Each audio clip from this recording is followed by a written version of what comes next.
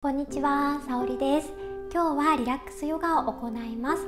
座ったままできる簡単なポーズですのでぜひ家事や仕事の合間に取り入れてみてください。お子さんともできる優しいポーズです。左右のお尻を安定させて座っていきます。座り方はあぐら座でも足をね伸ばしていただいても正座でも結構です。では手のひらをこすって手を温めます。で手のひらこすることで気の流れが良くなりますのでご自身の気をしっかりとね作るように手のひらを温めます。で手がね冷えてる方も手をこすることで温まりますので手のひらね温かくして。でこの温めた手でご自身を癒していきますね。はいでは手が温まってきた方はこの手を頭の上に乗せます。で頭のてっぺんにねこの手のひらを添えて頭をね緩めていきます。ヨガのこのエネルギー頭のてっぺんにねあります。サハスラーラチャクラというねエネルギーがあるんですが頭が疲れてるとこのチャクラもね弱まりやすくなるので手のひらで頭緩めていきましょう。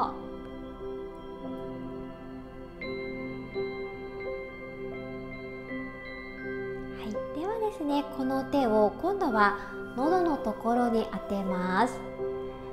ちょうどねお首の前側に手のひらを当てて手の温かさを喉の奥に伝えていきましょう。お咳がね出やすい方。いがらっぽい時もね効果があるのでこの手のひらねご自分の気で喉をね癒していくように。ここもヨガのエネルギーのポイントがあります。コミュニケーションね司る部分ですのでちょっとねコミュニケーション不足かなという時もここをね少し活性化するようにするといいです。を下にずらしてちょうど胸の真ん中です。お胸の真ん中を手のひらで温めていきましょう。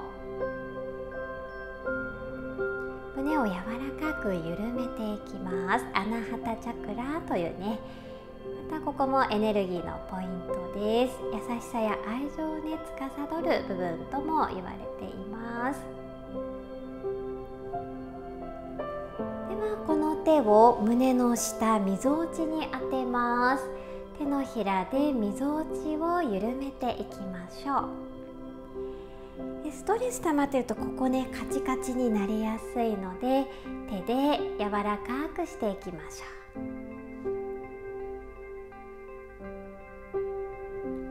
ではそのままおへそまで下ろします。ちょうど手のひらでおへそを包むようなイメージでひらの温かさをおへその奥に伝えていきます。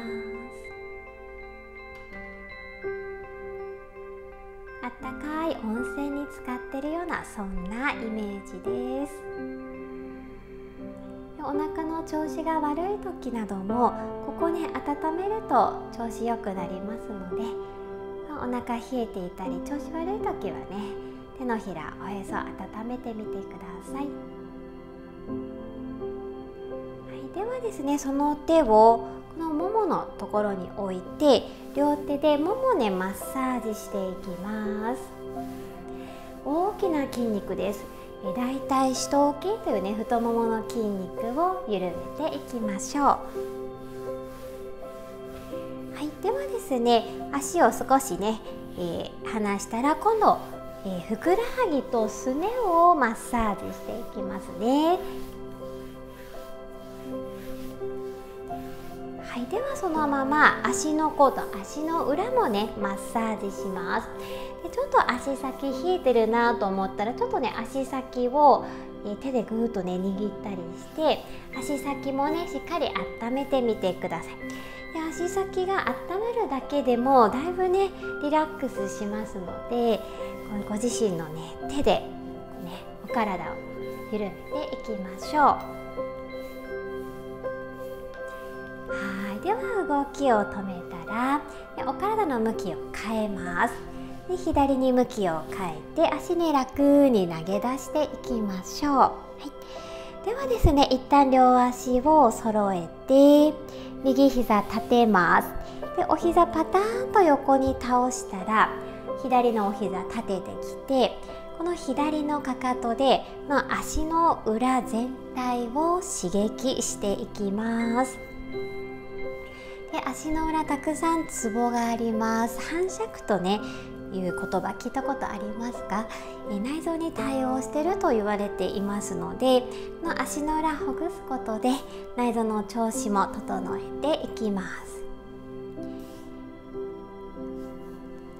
まり痛いところね無理にご刺激しなくていいので気持ちいいところねかかとで刺激をしていきましょう。は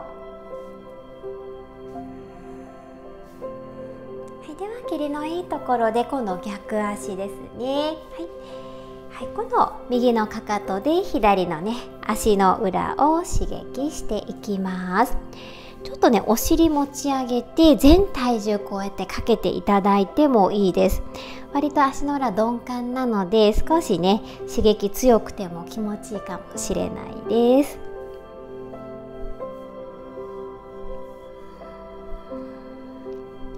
はいではですね動きを止めてまた足をね一旦伸ばしてリリースしていきましょう。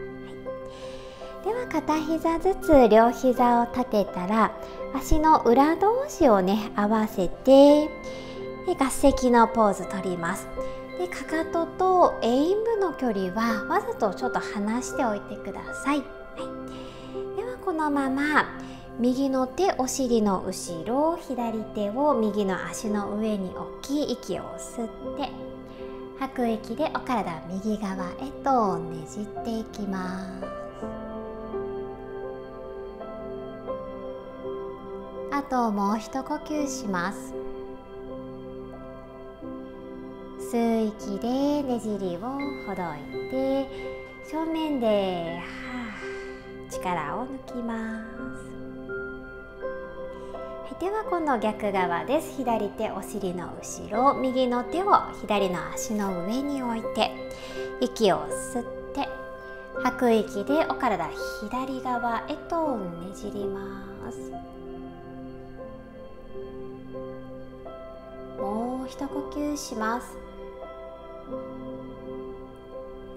吐き切った方から吸いながらねじりをほどいて正面で、はあ、力を抜きます、はい、ではそのまま両手を、え足首少しずつね前に歩かせてできつい方はね置けるところでいいです。息を吸って吐く息で上体前に倒していきましょう。亀のポーズ。で少しねお体を左右にねゆすりながら少しずつ右の股関節お尻に刺激を与えて。揺れながら少しずつ前に倒れていくイメージでの硬くなりやすい下半身ね少しずつ緩めていきましょう。はい、では動きを止めてこのままでもいいです。柔らかい方ね無理なければ手を足の内側から通して足の甲足先ね持っていただいてここでふーっと力抜きます。亀のポーズです。で腰から背中を緩めて頭と首もねリラックスしていきましょう。このかかととエイムの距離もきつい方はねちょっと手前にしてみたりもう少しね遠くにした方がよりこの股関節からお尻伸びますので刺激欲しい方ちょっと離して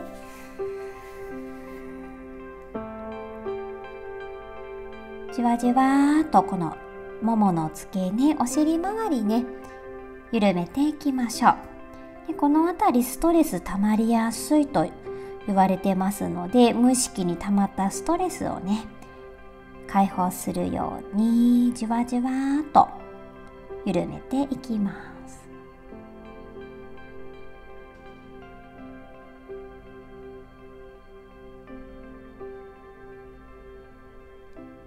あともう一呼吸します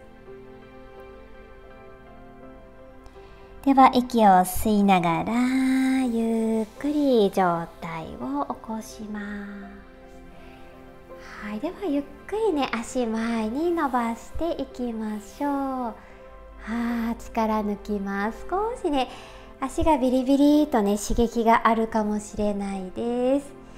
一旦血液のね流れ少し止めてたので足解放した時に血流の流れが良くなっている感覚も味わっていきましょう。はいではですねもう一度楽に正面向いて座っていきます、はい、ではもう一度手のひらねこすっていきます。最後パーミングといってね目を緩めていきますね、はい、手のひら温めるようにこすっていきましょう。で眼鏡されてる方はね気をつけて外していただいてもあのどちらでもいいです、はい、では動き止めたらお椀作ります。でこのお椀を目のとこにね当ててパーミングします。こう眼球を押さないようにして目の周りをこうね圧迫するようにして目の奥をね緩めていきましょう。目の周り眼力筋というね筋肉を緩めて目とね頭つながっているので目をたくさん使ってると頭も疲れますので目を緩めていきます、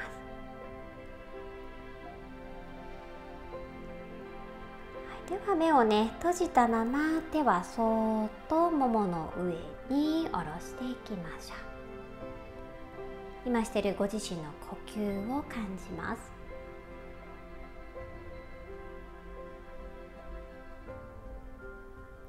両手を胸の真ん中で合わせます。吐く息で頭を下げてゆっくりと目を広げていきましょう。吸う気でお顔ゆっくり正面に持ち上げます。